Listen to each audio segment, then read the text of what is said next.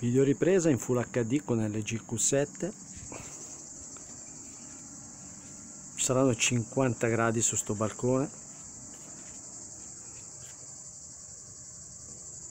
Costretto in casa fino alle 3 e mezza a aspettare il corriere. Siccome hanno sbagliato a mettere l'indirizzo, mi tocca aspettare a casa.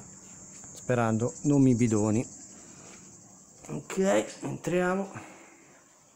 Leggermente più fresco ma neanche più di tanto. C'è poca luce penso che si veda.